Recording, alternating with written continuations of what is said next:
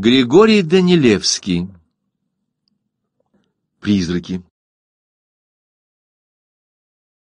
В начале шестидесятых годов, сказала одна из наших собеседниц, в Петербурге умерла старушка, моя родственница, тяжело хворавшая уже несколько времени.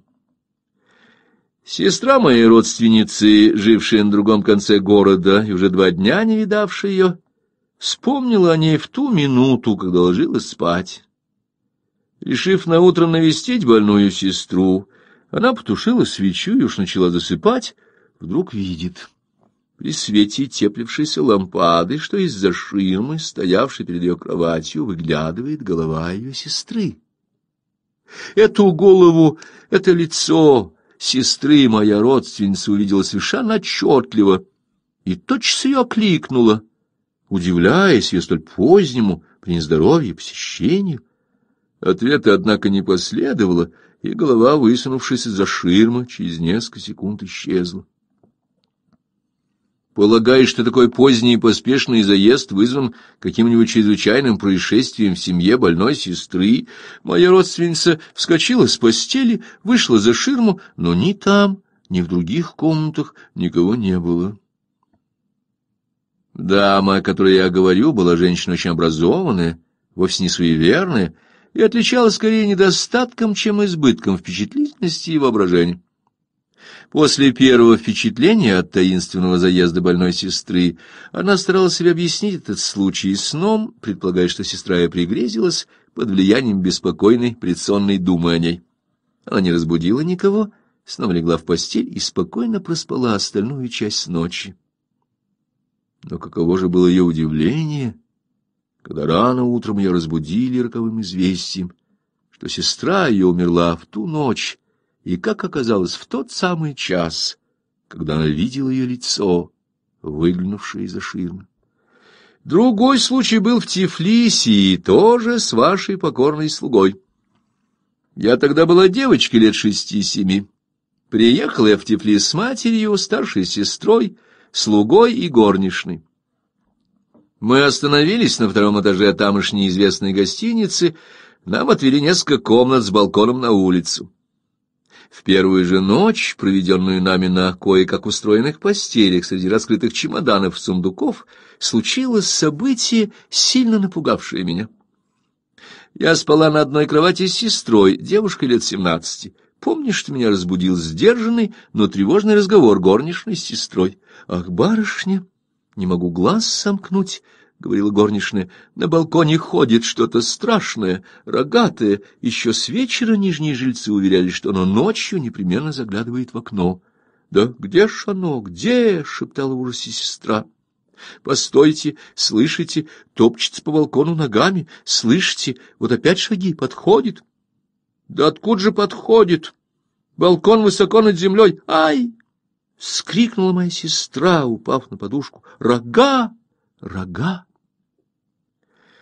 Как я не была мала и труслива, я подняла голову из задрожавшей сестры, взглянула и обмерла. С надворья в бледных сумерках ясно обозначилось нечто косматое, с рогами, приникшее к окну, и будто смотревшее, что делается в комнате. Я также упала носом в подушку и ну плакать. Проснулась матушка, разбудила лакея. Едва нашли ключ, отдали его лакею, и тот из соседней комнаты, имевший также выход на балкон, отпер стеклянную дверь, вышел наружу, осмотрел балкон. Там ничего не было. Но мы, то есть я с сестрой и горничной, отлично видели привидение, косматое, страшное и с рогами. Ночь провели без сна. На утро давай соображать, что бы это было. Слуга ходил к хозяевам, к нижним жильцам, которые перед нами стояли наверху, в наших комнатах, и перешли вниз из того же привидения. Он расспрашивал их, но ничего не добился. Хозяева уверяли, что это пустяки, что нам так показалось. Других свободных комнат не было, и мы поневоле остались в тех же, но приняли меры предосторожности. Ключ от балконной двери матушка положила себе под подушку, чтобы иметь его всегда наготове. Осмотрели тщательно балкон, висевший над улицей. Оказалось, что к нему даже не подходила водосточная труба, осмотрели все смежные двери и окна, комнаты и легли спать. Слуга заперся от коридора гостиницы. Мы заперлись от комнаты, где спал слуга. Горничная взлезла на высокую лежанку за печью, обставилась еще стульями. Поговорив немного, мы погасили свечи и уснули. И опять слышим топот. Я очнулась первая, взглянула в направлении окон и взвизгнула не своим голосом. Все вскочили, дрожим от ужаса. По балкону снова ходит чудище, длинные, как на рисунках о страшном суде, загнутые над мохнатым лбом, бесовские рога шевелятся за окном, и два глаза пристально смотрят сквозь стекло в комнату. Слуга также проснулся. «Барыня, ключ! Скорее ключ!» — шептал он за дверью. Мы подали ему ключ — он изловчился, быстро отпер дверь с балкона на крышу дома, бывшую над ним невысоко, спрыгнуло что-то мохнатое, легкое, как ветер. Утром слуга добился, в чем дело. Оказалось, что этот страшный тифлисский призрак был козел. Он являлся соседнего двора, сеновал которого был на склоне горы, как раз в уровень с крышей гостиницы. Покушав сено, козел имел обычай вскакивать в слуховое окно сеновала и странствовать по окрестным крышам и балконам. Перед тем в наших комнатах до нас и нижних жильцов долго жил какой-то одинокий постоялец. Он имел обычай пить по ночам чай у окна и, заметив спрыгнувшего с крыши на балкон козла, давал ему сухарей и молока. Козел привык к нему и каждую ночь получал свою порцию. А когда этот жилец уехал, козел, продолжая свои посещения, сперва напугал и заставил втихомолку спуститься вниз жильцов, занимавших наши комнаты, а потом напугал и нас. В Николаеве стояли в небольшом одноэтажном домике два офицера. Сидели они вечером однажды у окна, была зима, Светил полный месяц, беседа приятелей смолкла, они задумались, куря папиросы. Вдруг слышат, с надворья кто-то стукнул в наружную раму. Раз, другой, третий. Переглянулись они, ждут. Минуты три спустя опять незримая рука постучала в окно. Один из них выбежал на крыльцо, обошел угол дома, никого нет. Дом был на краю города и выходил на обширный, ярко освещенный луной пустырь. Потолковали приятели и решили, что это им так показалось, или что дрожало от движения воздуха стекло старой двойной рамы, хотя ночь была тихая, без малейшего ветра. На вторую ночь повторилась та же история. На третью снова это вывело офицеров с терпением.